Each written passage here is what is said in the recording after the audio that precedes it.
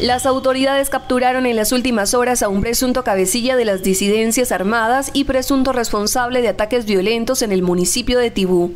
Fueron investigadores de la SIGIN los que materializaron el arresto en Ocaña de Marlon Andrés Aguilar Páez, alias Marlon, quien estaba requerido por la justicia por los delitos de homicidio agravado, fabricación, tráfico y porte de armas. Sí, nosotros tenemos eh, en el marco de la operación San Pedro Claver, eh, unidades de la IGIN, unidades de la ENOR, de la SIGIN, hicieron la captura de un individuo por el delito de homicidio agravado, fabricación, porte de arma, fuego de munición, explosivos y uso privativo de las fuerzas militares.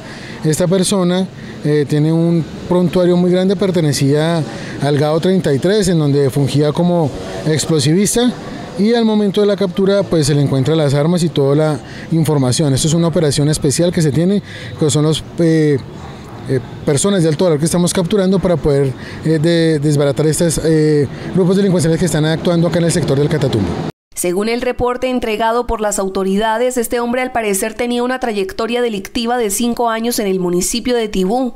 Realizaba entrenamientos, estaba comprometido en homicidios selectivos como el de Jorge Anderson Mayorga Méndez el pasado 15 de julio de 2021 y también de constantes ataques en contra de la fuerza pública.